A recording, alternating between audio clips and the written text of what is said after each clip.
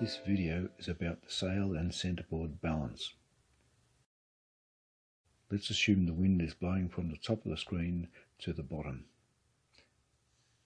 Let's also position our boat at 45 degrees to the wind. The wind hits the sail at the front luff, the rear leech and all the way in between.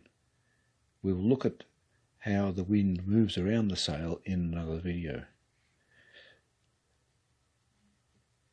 These individual wind forces can be averaged together and be shown as one force, shown here as the green arrow. Looking at the boat from the port side, we can see that the average of the wind forces on the sail can be represented as, as the red dot. These forces on the sail would push the boat downwind. To counteract this, the centreboard applies a force on the water opposing the force on the sail. This counteracting force is shown as the red dot on the centreboard.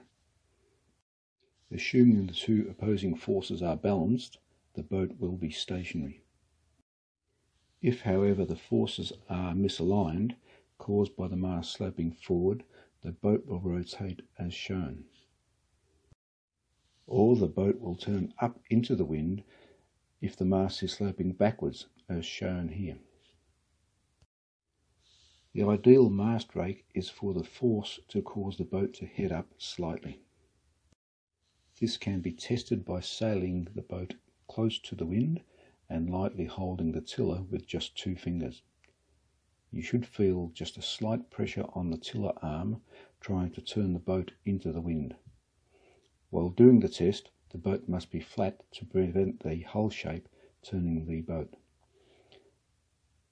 Adjust the mast rake to get this tiller pressure correct. Have fun sailing.